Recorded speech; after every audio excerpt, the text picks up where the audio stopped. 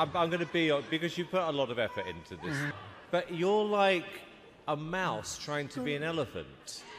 It's just It wrong. No, you know, I, I- I worked too hard. I worked way too friggin' hard for this. A lot of people work really, really hard for their dreams, but it's not meant for everybody. That's why you use auto tune and I don't.